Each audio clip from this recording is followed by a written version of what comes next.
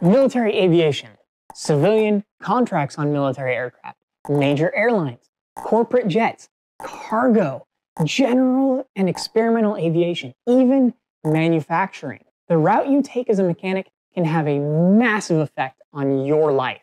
You ruined my life. Whether that's your paycheck, your work life balance, or your benefits.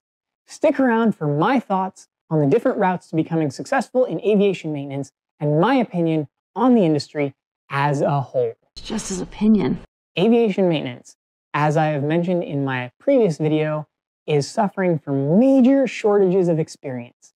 It's leaving massive gaps in the workforce, and companies are desperate to fill them. This is truly the cyclical nature of aviation. So, you really want to be sure that this is what you want to do. Plan ahead and have something to fall back on because chances are you're going to need it. Don't tell me what to do. Now, I really don't want to scare anyone off with this video. The pay can be great and the work is extremely rewarding, but it's also stressful. Snap! Attention to detail in this industry is incredibly important. Lives literally depend on the fact that you and the pilots do your jobs correctly. The industry is definitely here to stay, and robots will not be taking over mechanic jobs anytime soon.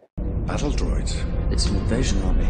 It's just a matter of deciding if you can handle the high bar of entry and the low pay in some areas of this industry. College degree helps, but should you go to school to get your certificates alongside an aviation degree? Personally, I don't think so. Because of how much of a title surge there can be in this industry at a moment's notice, you will want a fallback plan. So pursue aviation as a passion. Learn from the experience benefit from the pay, but always know that there could be another crash and you need a backup plan.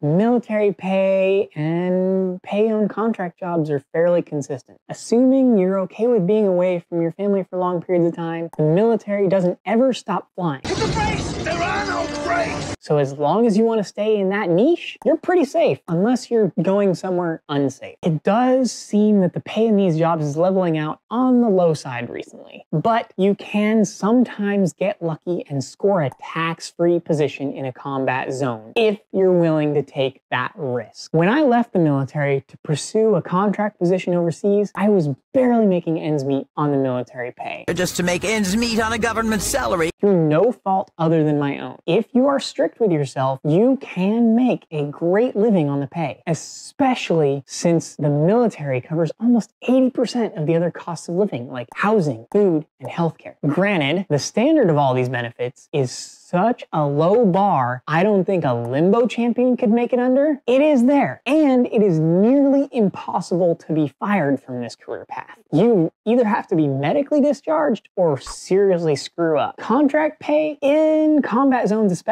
is pretty great, simply because you're working a lot. The hourly compensation is crap. The benefits are worse depending on the contract. This is, of course, my personal opinion, so don't take this as the gospel's truth. A word as good as gospel. There are plenty of great contracts out there. I just got burnt by mine during COVID. I spent 367 days straight. Over a year? Yeah. In Afghanistan, working 12 hours a day, seven days a week. I still came out of it in great shape though. Because of that, I made six figures in those 12 months.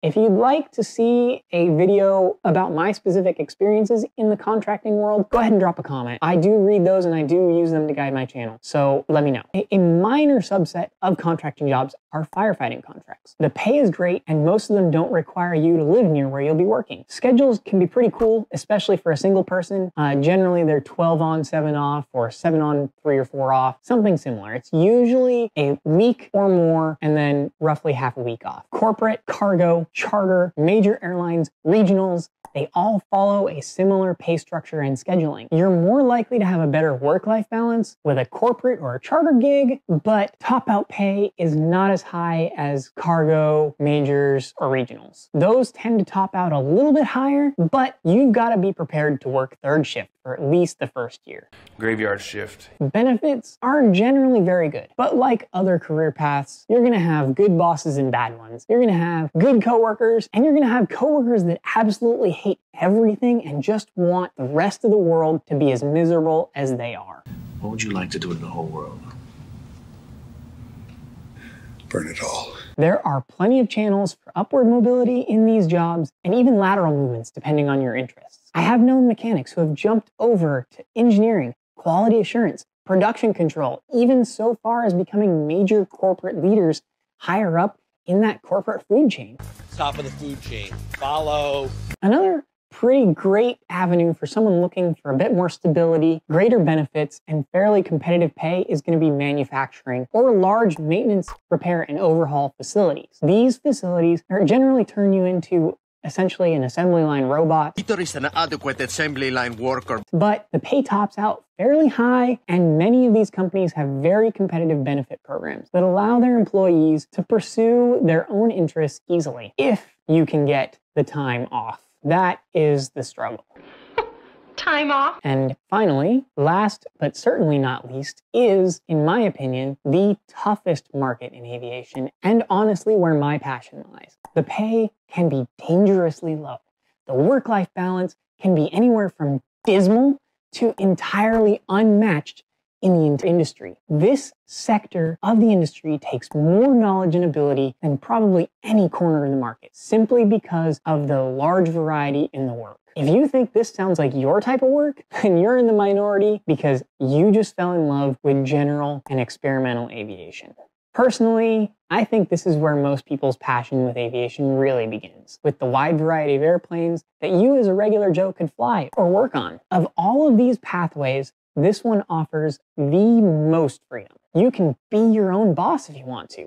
It's a big job with a lot of responsibility. Not right away, of course. You need to earn an additional rating called your IA or inspection authorization in order to do anything in that regard. But this aspect means working on so many different things. You could go one day working on a classic wood and fabric aircraft from the 1930s to the next day working on a Cirrus SR 22 that was manufactured in 2021. It means knowing the rules and regulations and how to interpret the aircraft manual from the 1930s when you have no idea what you're doing. You have to learn to deal with owners of the aircraft directly. Be friendly to the customer. Think of the customer as a friend.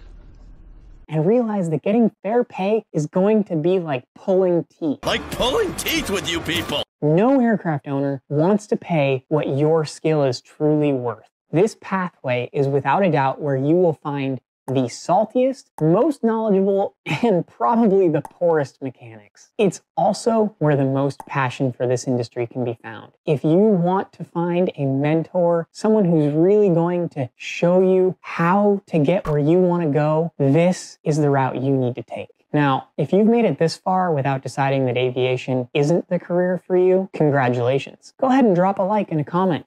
You got this. You got this. I'd love to know which way you're going to go because you've decided that your passion can weather the difficulties this industry can bring. You've got such passion. I wish you luck on your journey and offer the video to my left as further guidance along it. Make this work. Thanks for coming. See you later. GoPro, stop recording.